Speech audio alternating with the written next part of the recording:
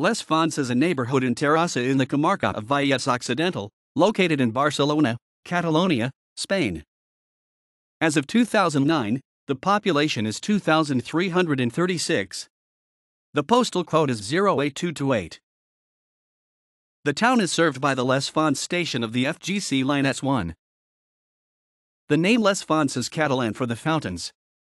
Equals equals references equals equals.